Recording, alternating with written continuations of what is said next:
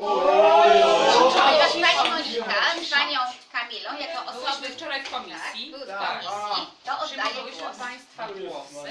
I bardzo miło mi ogłosić, że w wyborach na najmilszego terapeutę roku 2018 17. 17 pierwsze miejsce zdobyła pani Anna Chojnacka. Ale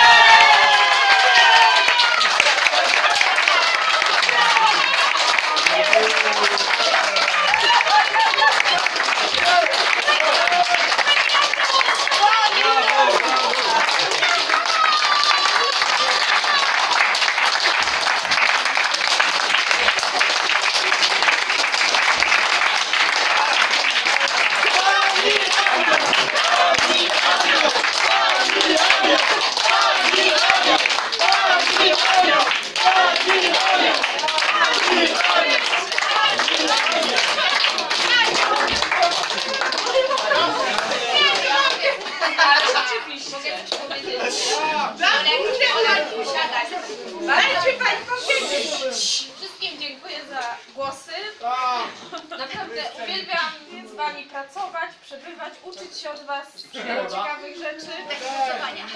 Ja nie przyjdę. Również oklaski dla...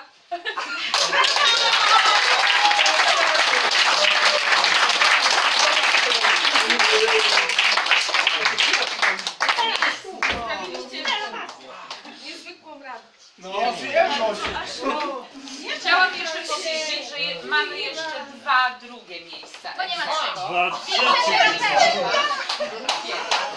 Drugie miejsce, czyli tytuł wice terapeuty, wice najlepszego terapeuty 2017 roku otrzymują egzekwo. Zaczniemy od kobiety. Pani!